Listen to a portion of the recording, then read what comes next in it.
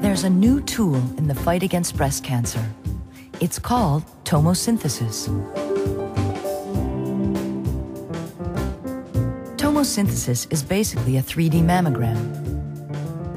The 3D exam looks and feels like a regular mammogram, only it takes a few seconds longer for each view. That's because the X-ray arm swings over your breast, gathering enough extra information to create a three-dimensional image set. So now the doctors can see and search through your tissue in one millimeter layers. Why is this a good thing? Well, a traditional 2D mammogram shows all the breast tissue at a glance. That means one feature can hide in the shadow of another. So it might look like there's cancer where there isn't any. Or there could be a tiny cancer we just can't see.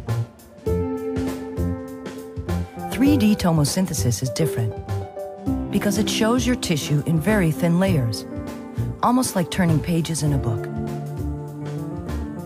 That makes it easier for doctors to see if there's anything to be concerned about.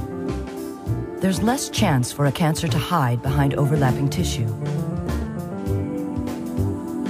It also means there's less chance your doctor will call you back later for a second look because they can see more clearly now.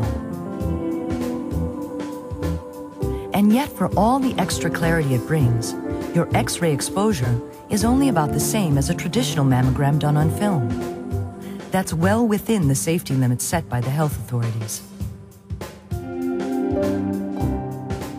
We can't prevent breast cancer, but if we find it early enough, we can stop it before it stops you. Tomosynthesis is one more tool to make early detection even earlier.